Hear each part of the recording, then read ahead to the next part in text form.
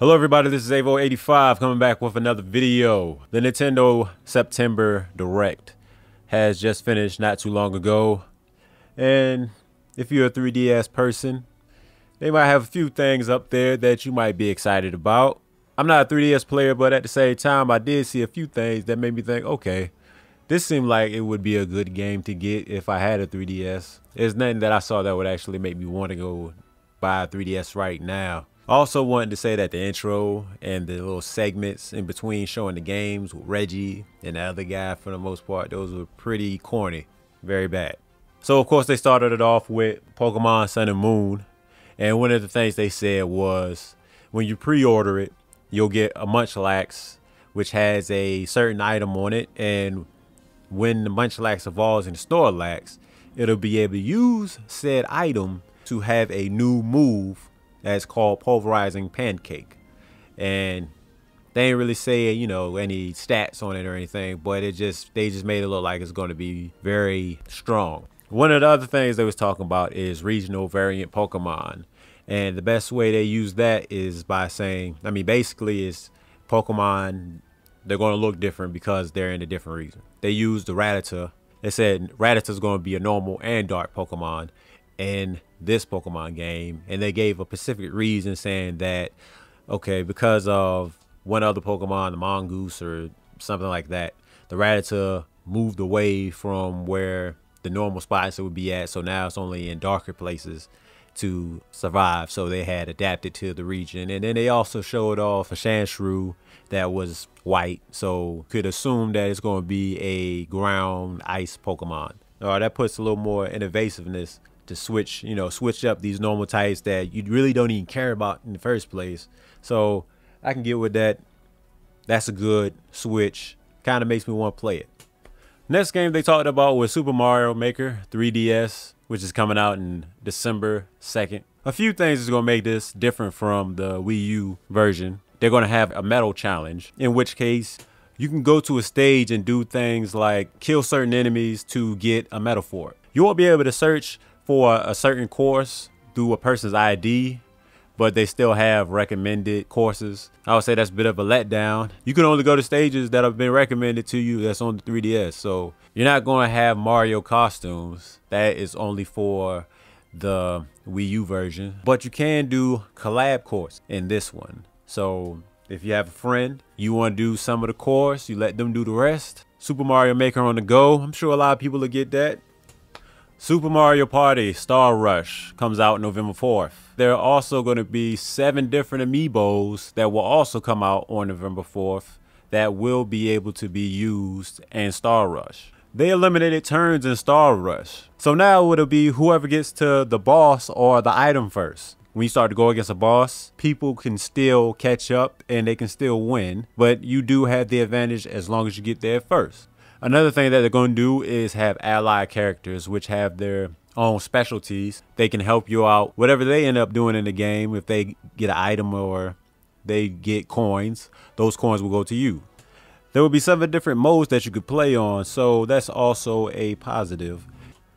The Mii Plaza is getting an update, which ain't even that big of a deal. One of the things is that instead of only having 10 people to interact with or you can be friends with or something, you can make it a way where it can be a hundred. I wasn't really paying that much attention to that, man. I mean, it's it's Mii Plaza. Animal Crossing, I wasn't paying that much attention to this one either. But I do know that they're gonna have another mini direct for Animal Crossing later this fall. They said that they had a new leaf update.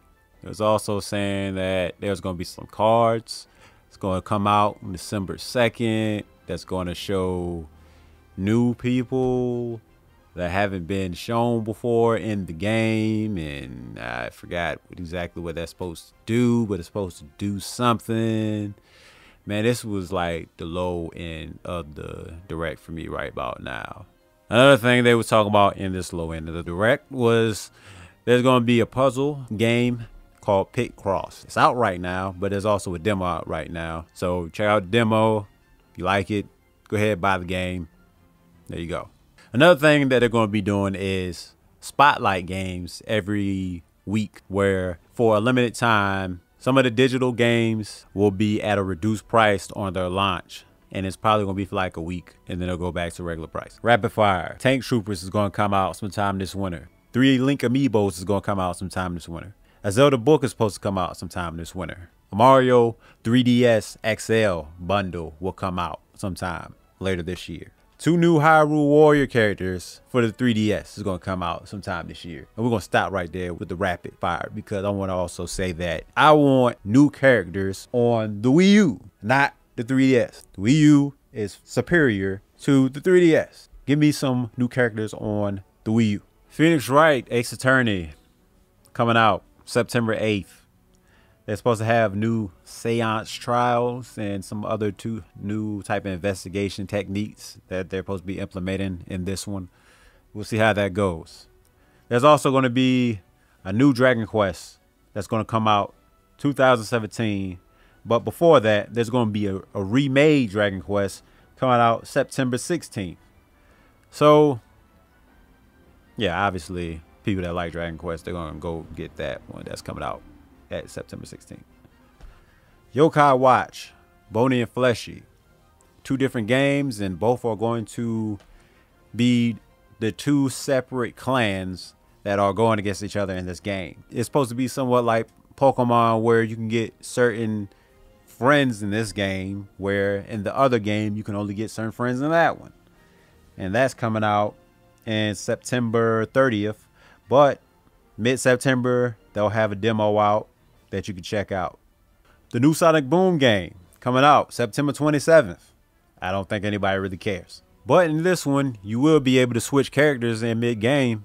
So maybe that's something worth checking out. Doubt it though. Shin Megami Tensei 4 Apocalypse.